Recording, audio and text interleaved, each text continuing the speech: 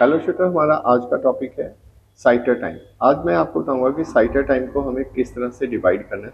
क्योंकि साइटर टाइम आपके मैच के ऊपर पूरा असर डालता है तो और साइटर टाइम में बहुत सारे थॉट्स आते हैं। वो थॉट्स आपके दिमाग में ना आए तो उसके लिए हमने साइटर टाइम को किस तरह से डिवाइड करना है।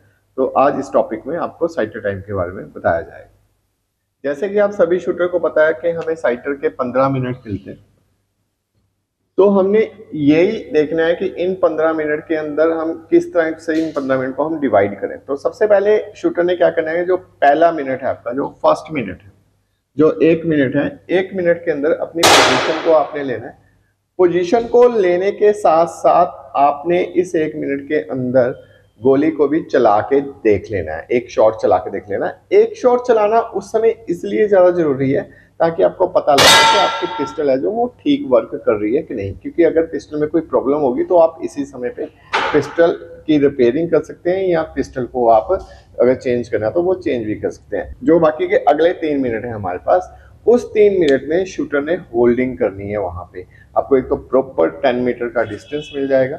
जब आप टेन मीटर के डिस्टेंस के ऊपर होल्डिंग करेंगे, आपका हाथ भी रुकने लग जाएगा और तीन मिनट की ये होल्डिंग के बाद आपको जो टारगेट का विजन भी है और जो साइटें भी है, बिल्कुल क्लियर क्लियर नज़र आएँगी। यानी कि अगर हम देखें तो ये एक और तीन अभी चार मिनट हो गए।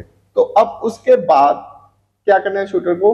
कि दस गोलियों के अंदर नेक्स्ट टेन शॉट के अंदर शूटर ने अपनी पिस्टल को सेट करना है। और ये दस गोलियाँ जो चलानी है शूटर ने एक एक मिनट के अंदर चलानी है। ये नहीं कि हवड़ा दबड़ी में फटाफट से चला दी। तो आप एक एक मिनट के अंदर प्रोसेस से आप टेन शॉट्स को चला लेंगे तो आप देखेंगे कि ये टेन मिनट्स और तीन मिनट्स और प्लस एक, यानी कि ये फोर्टी मिनट्स हो जाते हैं। अप्रॉक्सीमेटली आपके पास एक मिनट बचेगा, या कईयों के पास सिर्फ़ थर्टी सेकेंड या फिफ्टी सेकेंड ही बचे।